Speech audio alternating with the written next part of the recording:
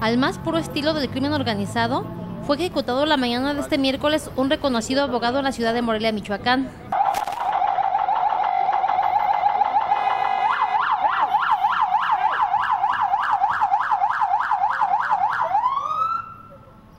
Benito Andrade Guzmán, abogado especialista en préstamos y cobranzas, recibió varios impactos de bala luego de significar una persecución y enfrentamiento a tiros con varios sujetos que ya lo esperaban en su despacho, ubicado en el Boulevard García de León.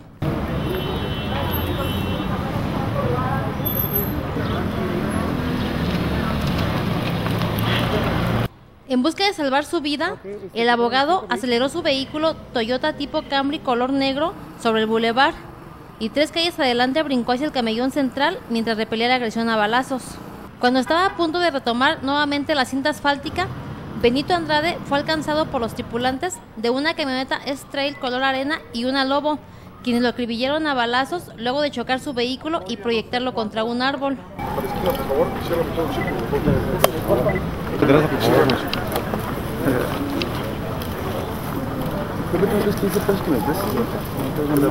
Los gatilleros se bajaron de las camionetas y remataron a su víctima a una corta distancia.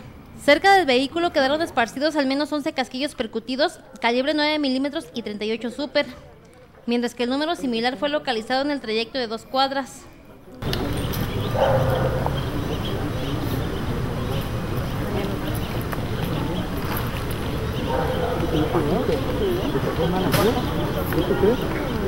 Al lugar llegaron elementos de la Policía Ministerial, Estatal Preventiva y el Ejército, quienes montaron un operativo que dio como resultado la ubicación de la camioneta Nissan tipo S-Trail color arena a dos cuadras del lugar, misma que presentaba ocho impactos de bala.